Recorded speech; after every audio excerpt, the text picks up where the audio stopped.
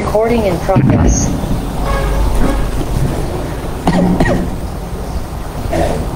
သာသနာတော်နေ့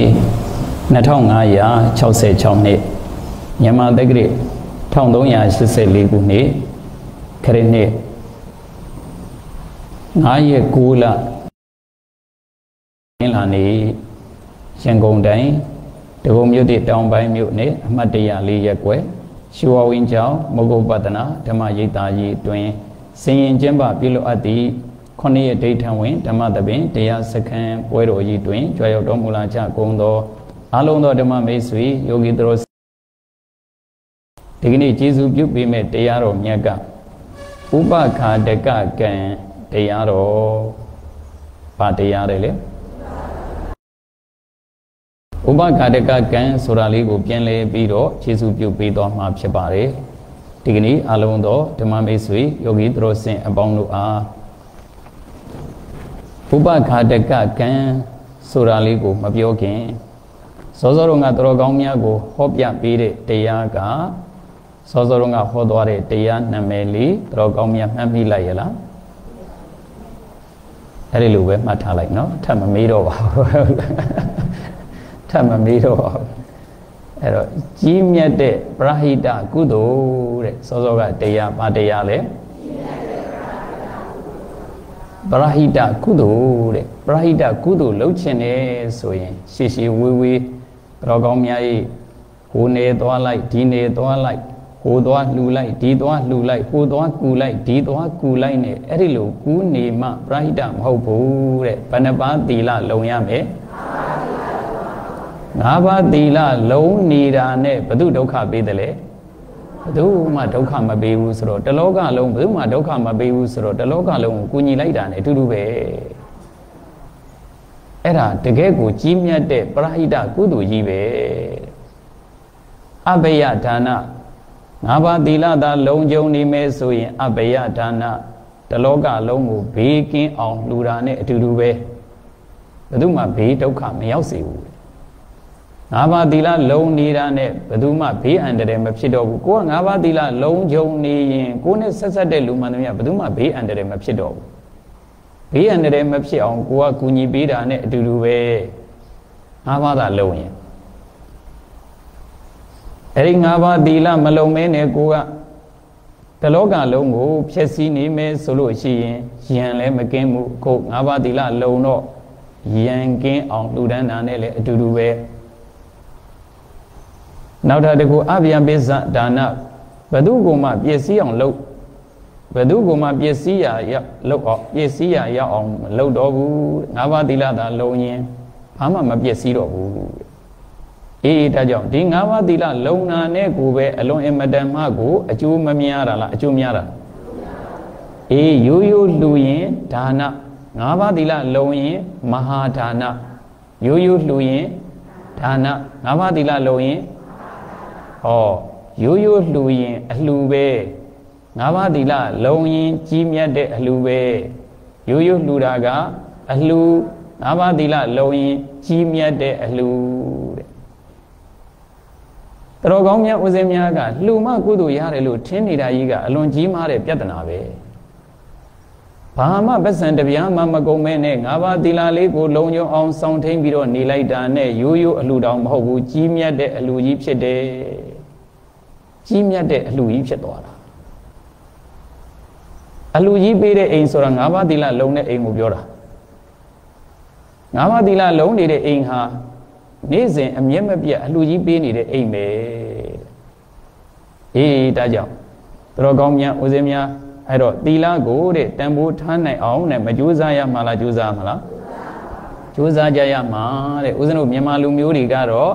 အဲဘာကိုတန်ဖိုးထားလေးရှိကြတယ်လေဒါနကိုတန်ဖိုးထားလေးရှိကြတယ်သီလကိုတန်ဖိုးထားတဲ့ယောဂီတော်စင်တွေလည်းအများကြီးပါပဲဒါပေမဲ့လို့ဒါနကိုပို့ပြီးတော့တန်ဖိုးထားတယ်လို့ဦးဇင်းများကအဲဒီလိုအဲထင်မြင်မိပါတယ်အဲ့တော့ဒါနလည်းပဲမလွယ်ပါဘူးဒါနဆိုတာလည်းပဲအလုံးအလုံးကိုပဲခက်ခဲတဲ့ကုသိုလ်ပါပဲဒါပေမဲ့လို့ဒါနထက်ပိုမြတ်တာကသီလဆိုတာလေးကိုတော်ကောင်းများနားလေထားရမယ်အဲ့ဒီ၅ပါးသီလလေး လုံခြုံနေတယ်ဆိုရင်ကို့မှာကြီးမြတ်တဲ့အလှကြီးကိုပေးလှူနေတာနဲ့အတူတူပဲလို့နားလေသဘောပေါက်အောင်ဒီကနေ့တော်ကောင်းများကိုစောစောတုန်းကကျေးဇူးပြုပေးတာကကြီးမြတ်တဲ့ပရဟိတကုသိုလ်တဲ့စောစောကတရားဘာတရားလဲငါးပါးသီလလုံးနေတာနဲ့အဲ့ဒါပရဟိတလုံးနေတာနဲ့အတူတူပဲတဲ့အေးအဲ့ဒါလေးကိုပြောတာအဲ့တော့သောစောကလူရှင်မိသားစုတွေကြတော့လည်းပဲသူတို့အမေရိကနဲ့ဒီနဲ့အချိန်က ကိုလိုကန့်လန့်ဖြစ်နေတဲ့ခါကျတော့နေ့နဲ့ညနဲ့ပြောင်းမြန်အဲ့တော့နေ့နဲ့ညနဲ့ပြောင်းမြန်ဆိုတော့အရင်တော့ကဦးစင်းကဟောပြီးတာ9နာရီခွဲ9နာရီခွဲဝန်းကျင်လောက်10နာရီဝန်းကျင်10နာရီဆိုရင်တော့နည်းနည်းဆင်ပြေတယ်အဲ့တော့အဲ9နာရီဝန်းကျင်9နာရီနဲ့10နာရီကြားထဲမှာများသောအားဖြင့်ဦးစင်းကဟောပေးလိရှိတယ်ယောဂီတွေမရှိတဲ့အချိန်ခါမှာ9နာရီနဲ့10နာရီကြားကိုဟောပေးလိရှိတယ်အဲ့ဒီလိုဟောပေးတဲ့ခါကျတော့သူတို့မှလည်းပဲအဲ အလုတ်သွားတာနဲ့အဲသူတို့မှလည်းပဲအလုတ်ကပြန်လာတာနဲ့ဒီအချိန်တွေကိုချိန်ရင်းနဲ့အဲ6နာရီခွဲလောက်အဆင်ပြေမလားဖေဟာဆိုတော့6နာရီခွဲဟောလိုက်တော့စောစောကနည်းနည်းလေးယောဂီသူတော်စင်တွေရဲ့အချိန်နည်းနည်းလေးပဲ့သွားတာအချိန်တရားနာချိန်ယောဂီတွေနည်းနည်းလေးယော့သွားတယ်စိတ်ဆိုးသွားသလားကျေးဇူးတင်ပါတယ်နော်ဟုတ်လားစိတ်မဆိုးလို့အဲ့ဒီလိုအဲ့ဒီလိုကိုလိုကနဖြစ်သွားတာနော် အဲ့ဒါနေကင်း10နာရီခွဲပြပြန်တော့ဦးဇင်းတို့ဒီက10နာရီခွဲကိုတရားဟောရင်တို့ကည7နာရီလောက်ရှိမယ်နဲ့တူတယ်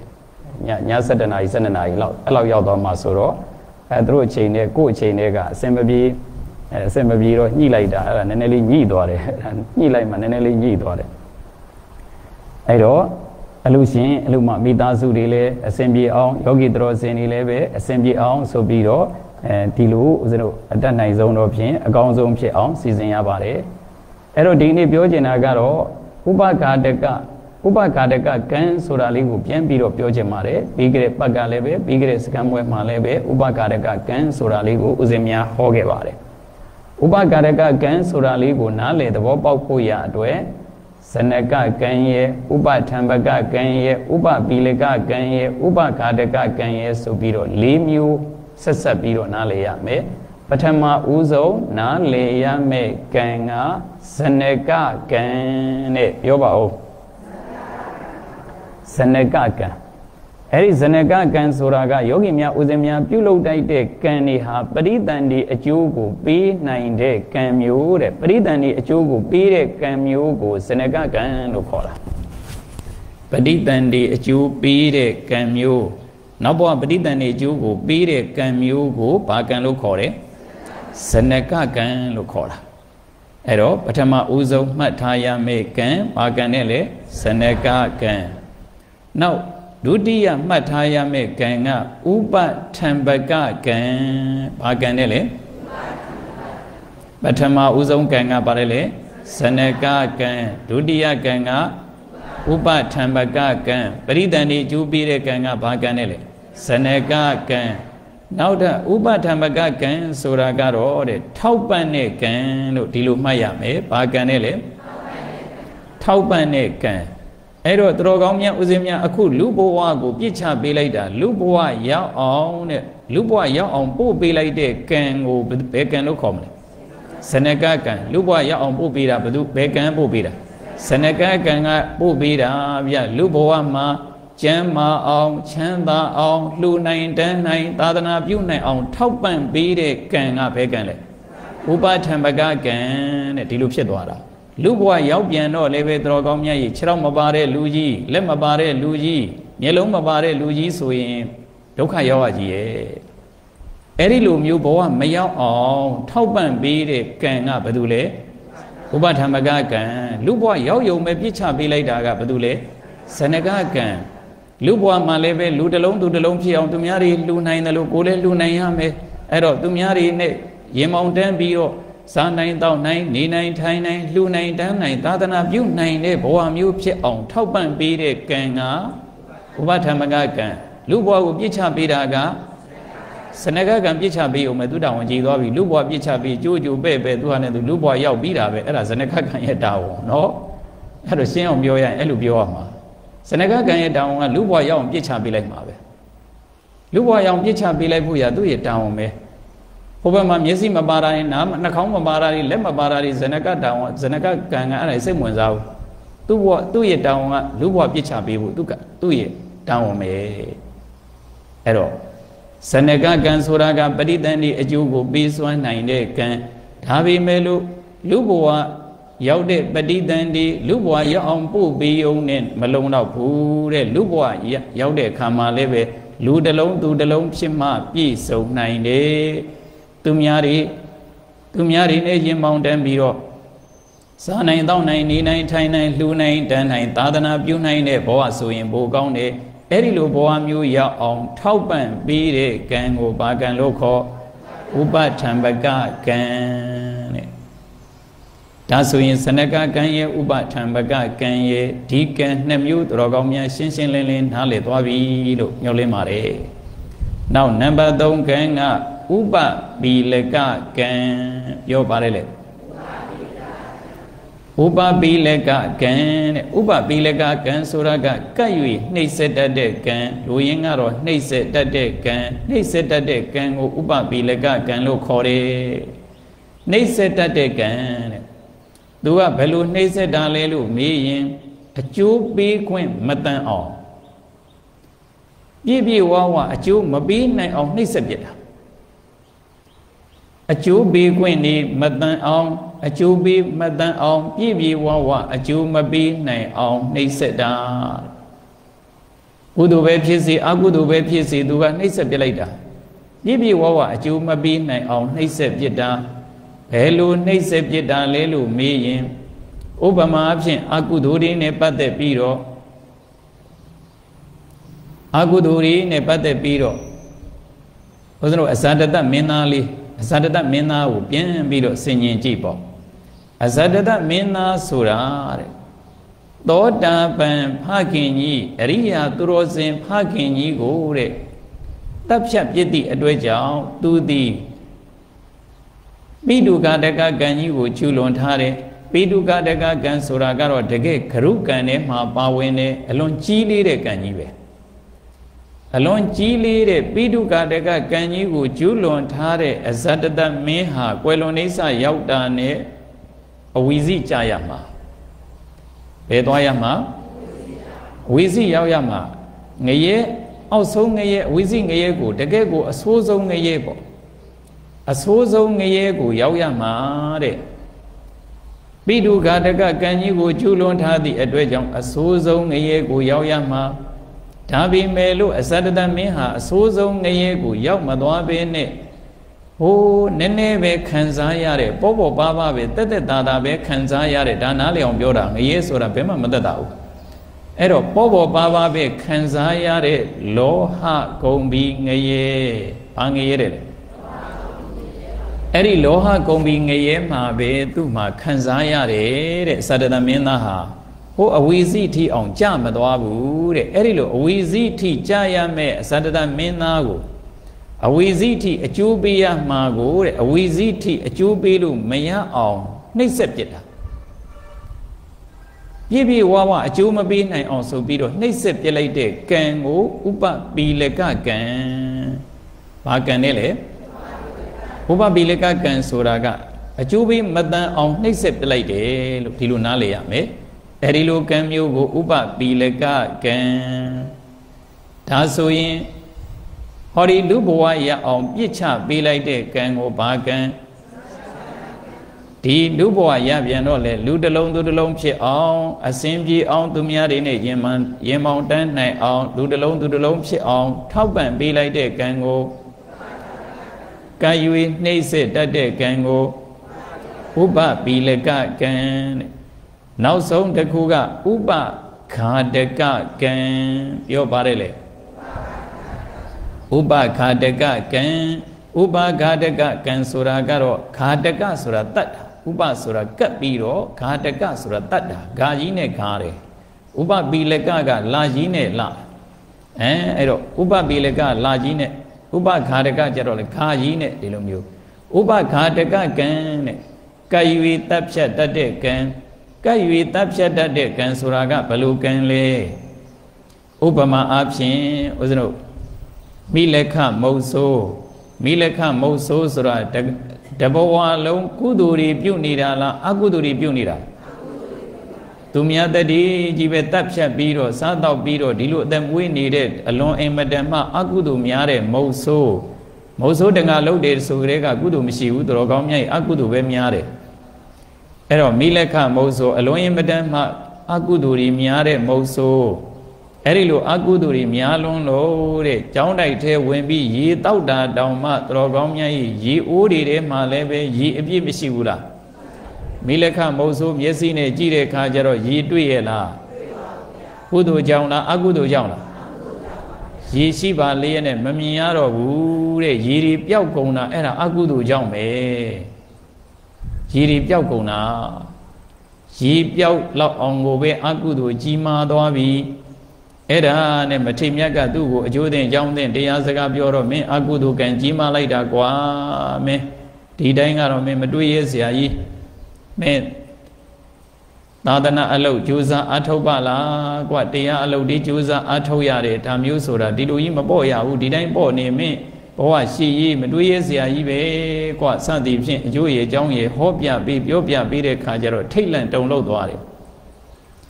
အဲ့ဒါနဲ့ထိတ်လန့်တုန်လှုပ်ပြီးတော့သူ့ရဲ့ဒီမုတ်ဆိုးတငါလှုပ်ခဲ့တဲ့လက်နဲ့ဒီဘာတွေအကုန်လုံးစွန့်လွတ်ပြီးတော့ သာသနာပေါင်းဝင်ရောက်မိလက်ခမတိဆိုပြီးတော့နာမည်တွင်မိလက်ခမတိဆိုပြီးတော့နာမည်တွင်ပြီးသူဟာဝေယဝဆကုသိုလ်တွေလုပ်ရင်းတရားအလုပ်တွေကြိုးစားပြီးတော့အားထုတ်ရင်းအဲ့ဒီလိုနဲ့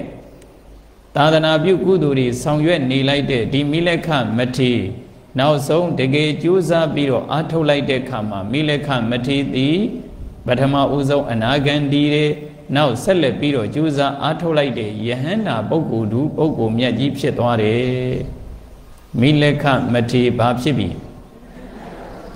ယဟန္တာဖြစ်သွားပြီမိလက်ခမထေယဟန္တာဖြစ်သွားပြီတဘဝလုံးသူမြတ်အသက်တိုက်ခဲ့တဲ့မိလက်ခမထေအခုယဟန္တာဖြစ်သွားပြီအဲ့တော့သူများသက်တတ်တဲ့ဒီအကုသိုလ်တွေဟာအကျိုးပေးပါတော့လားဆိုတော့အကျိုးပေးလို့ရသေးလား ဘာမှအကျိုးပေးစရာအကြောင်းမရှိတော့ဘူး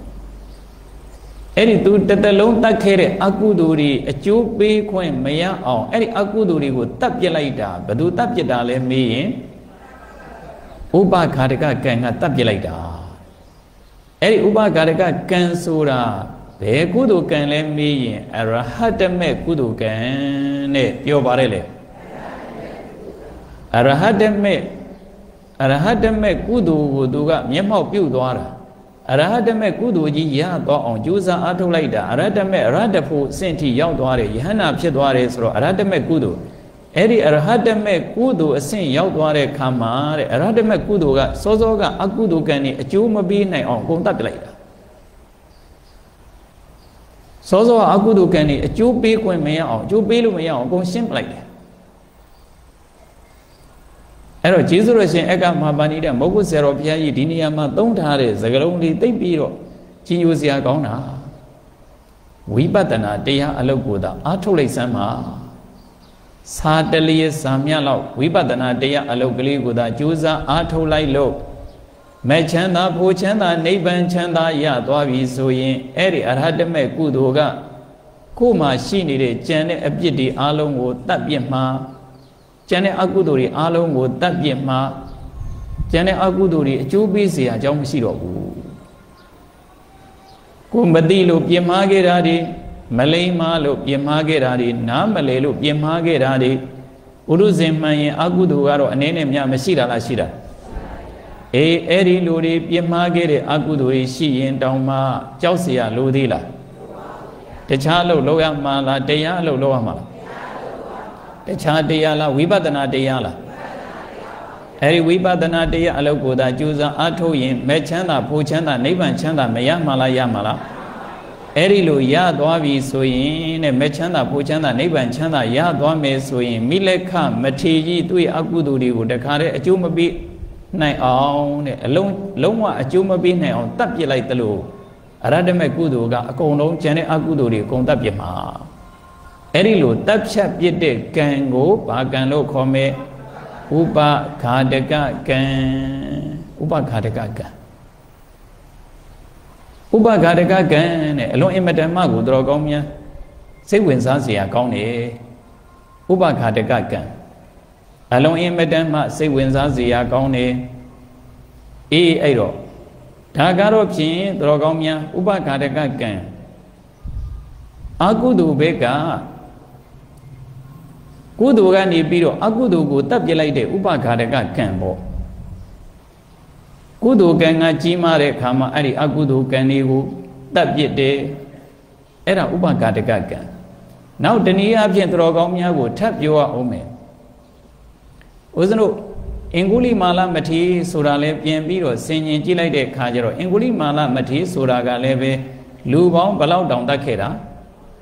အဲလူပေါင်းတစ်ထောင်ပဲပြောပါတော့ လက်ညှိုးပေါင်းတစ်ထောင်လူပေါင်းတစ်ထောင်တတ်ပြစ်တာ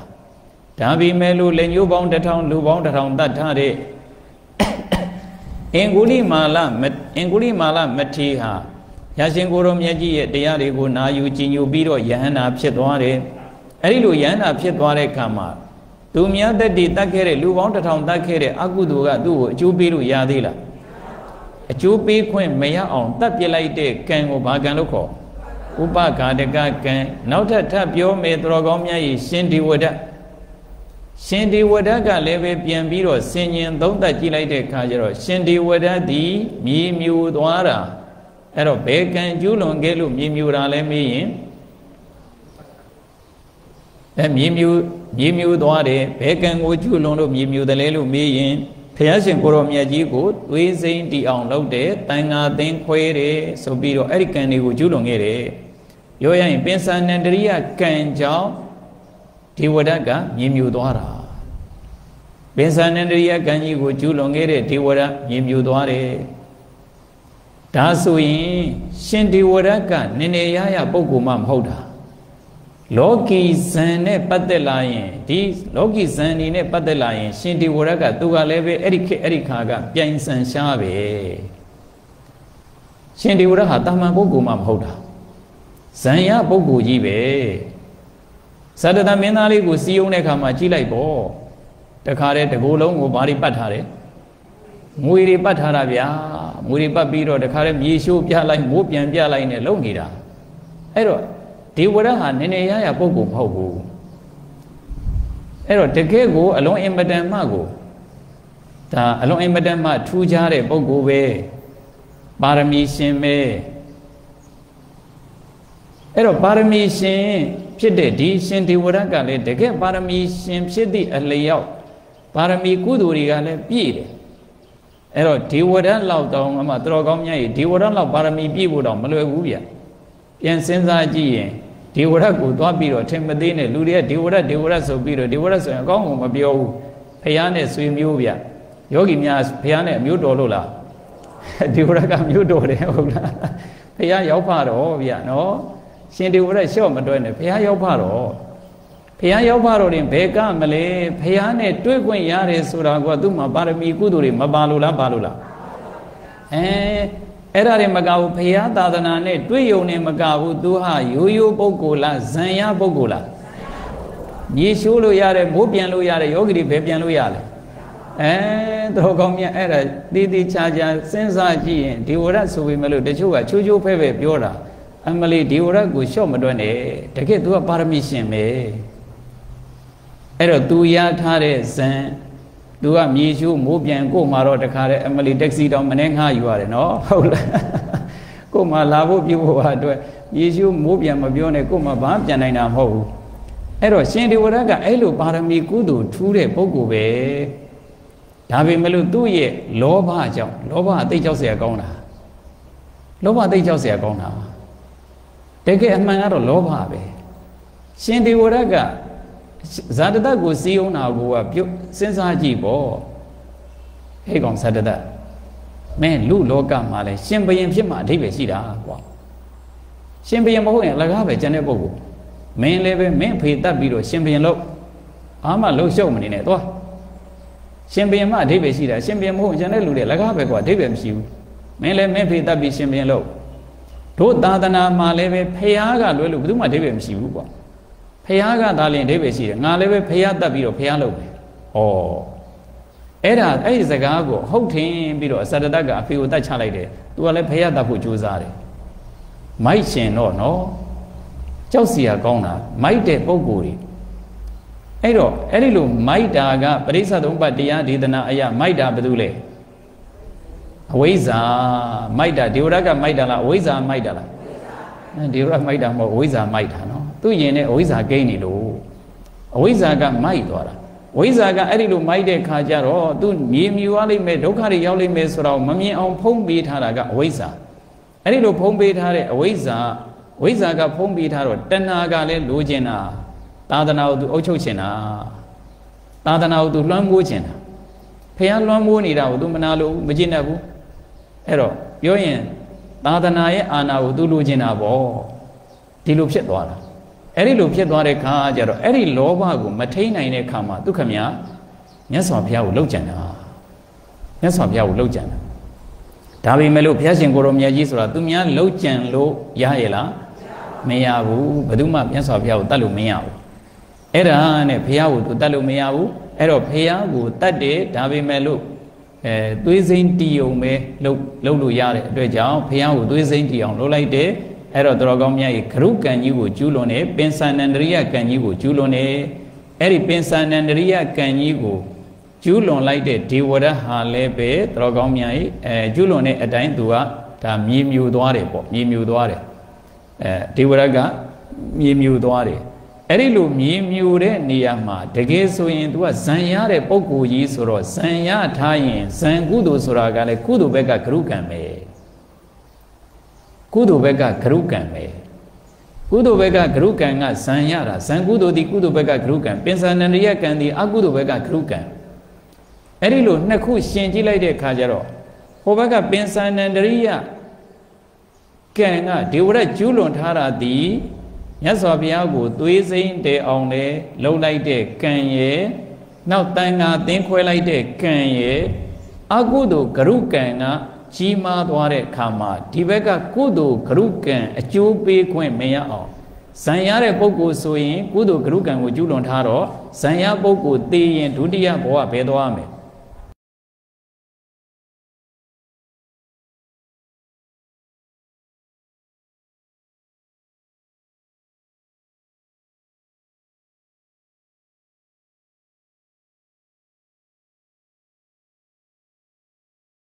စောစောက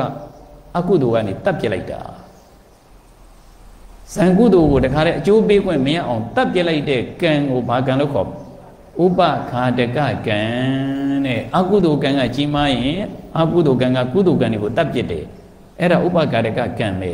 ကုသိုလ်ကံကကြီးမားရင်ကုသိုလ်ကံကနေပြီးတော့အကုသိုလ်ကံတွေကိုတတ်ပြစ်လိုက်တယ်ကံတစ်ပါးကိုအကျိုးပေးခွင့်မရအောင်လုံးဝအကျိုးပေးခွင့်မရအောင်တတ်ပြစ်တဲ့ကံကိုဘာကံလို့ခေါ် ဥပဂါရကကံတဲ့အဲ့တော့ပြောချင်တာကတော်ကောင်းများဥစဉ်များမိမိတို့အခုဝိပဿနာတရားအလုပ်တွေကိုကြိုးစားပြီးတော့အားထုတ်ကြတယ်ဆိုရင်ဝိပဿနာကုသိုလ်ကနေပြီးတော့မဲ့ကုသိုလ်ကိုကျေစုပြုနိုင်တယ်အဲ့ဒီမဲ့ကုသိုလ်အရဟတမဲ့ကုသိုလ်အစဉ်ရောက်သွားပြီဆိုရင်ယောဂီပေါင်းတော်ကောင်းတို့ရဲ့တန်တမှာ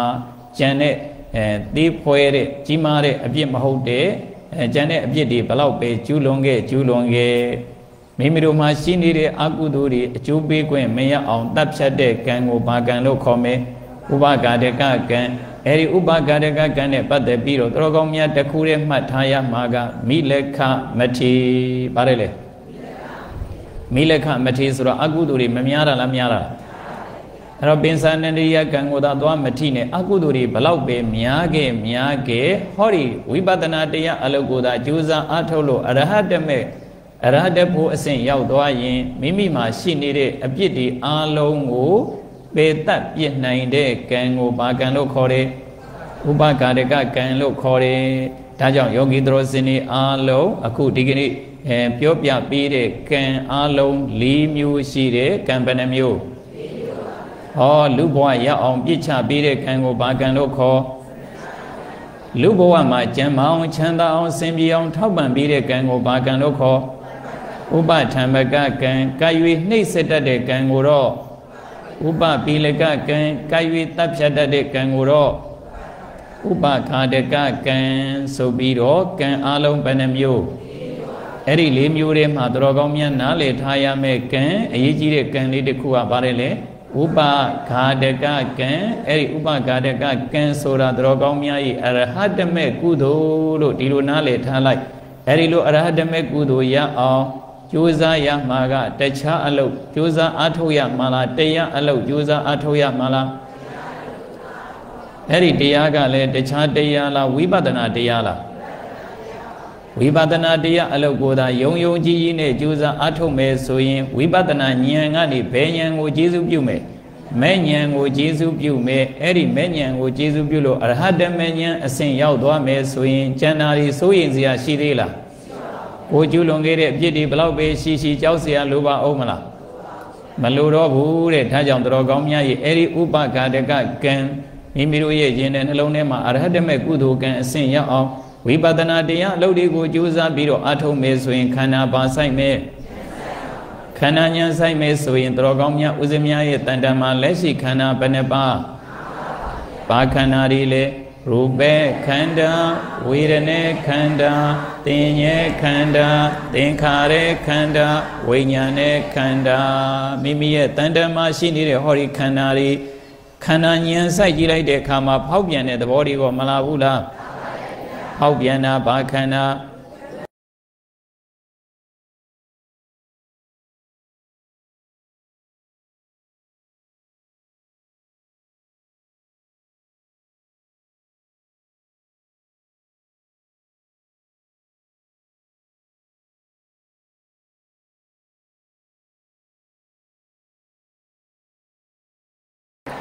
တိရာကအလုံးဘယ်နှပါအေးအဲ့ဒီခန္ဓာကိုပါဆိုင်ရမယ်ဉာဏ်ဆိုင်ရင်ဖောက်ပြန်ရင်ဖောက်ပြန်တယ်လို့မသိမှလားသိမှလားဖောက်ပြန်တယ်လို့သိမယ်ခံစားရင်လည်းခံစားတယ်လို့သိမယ်မှတ်သားပြုပြင်သိတဲ့သဘောတရားပေါ်ရင်လည်းပဲအဲ့ဒီသိတဲ့သဘောတရားပေါ်တယ်လို့သိမယ်အဲ့ဒီလိုတော်ကောင်းများ၏ခန္ဓာဉာဏ်ဆိုင်ပြီးတော့ကြိုးစားအထုတ်မယ်ဆိုရင်အဲ့ဒီသဘောတရားတွေအလုံးကဖြစ်ပြီးမပြတ်ဘူးလား ဖြစ်ပြီးပြတ်တာတွေ့ရင်ဘာသစ္စာတွေ့တဲ့ဉာဏ်ကတိရာကနောင်ခန္ဓာမလာရာကနိရောဓသစ္စာကိုပထမတစ်ကြိမ်မျက်မှောက်ပြုရင်သောတာပန်ဒုတိယတစ်ကြိမ်မျက်မှောက်ပြုရင်တဂရကံတတိယတစ်ကြိမ်ဆိုရင် အနာကံသရုဋ္ဌတစ်ကြိမ်ဆိုရင်ယဟန္တာ အဲဒီလိုအဆင့်ရောက်အောင်ကြိုးစားပြီးတော့အားထုတ်သွားမယ်ဆိုရင်မိမိတို့မှမတိလိုကျူးလွန်ခဲ့တဲ့အပြစ်တွေရှိခဲ့ရင်တောင်မှအဲ့ဒီအပြစ်တွေကိုပြေပြောက်ပြီးတော့တကယ်မဲ့ချမ်းသာဖိုးချမ်းသာနိဗ္ဗာန်ချမ်းသာကိုအေးအေးဆေးဆေးနဲ့မျက်မှောက်ပြုနိုင်မယ်အဲ့ဒီလိုမျက်မှောက်ပြုနိုင်ဖို့ရအတွက်ဥပဂါတကကံလို့ခေါ်တဲ့အရတမေအရတဖို့ချမ်းသာကိုရအောင်ကျင့်ကြံကြိုးကုပ်ပွားများအထုတ်နိုင်ကြ၍ မိမိတို့အလိုရှိတောင်းတနေတဲ့စူရူစုမြတ်အပေါင်းတို့နှင့်ပြည့်စုံနိုင်ကြတဲ့ပုဂ္ဂိုလ်သူပုဂ္ဂိုလ်မြတ်ကြီးတွေဖြစ်ကြပါစေလို့ဆန္ဒပြုရင်းအပမဒေနမမိမလျောမဘောမတန်ထက်တန်သော အပမာရတတိတရားဖြင့်တံပါတိထကိုစီကိုငါပြည့်စုံနိုင်ကြပါစေကုန်တည်း